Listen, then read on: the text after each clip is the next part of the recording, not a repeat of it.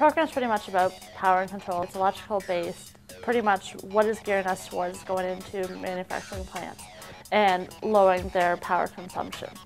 The electrical engineering technology program here actually is what we call the power and control option. So we deal a little bit with uh, the power side of things, so distribution and transmission of electrical energy, uh, as well as generation, how it's produced. Within our electrical and electronics cluster, we have our electrical program, which is power and control.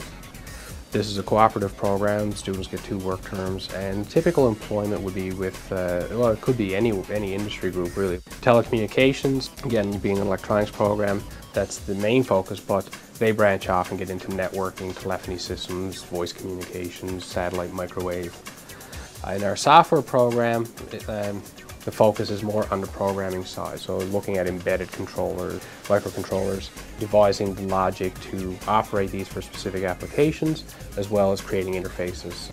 Uh, in the instrumentation program, that's obviously geared towards um, heavy industry and manufacturing.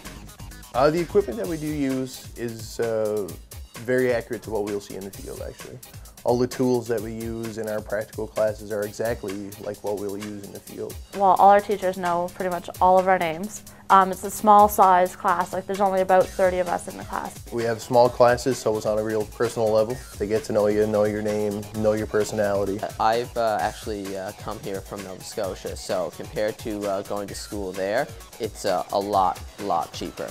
If I was going to do this program, let's say in Ontario, where I'm originally from, I'd be paying three times more. It is very cost effective. I've tried other institutes where the tuition rates were twice as high. I took some university courses as well, and there is a big difference in price.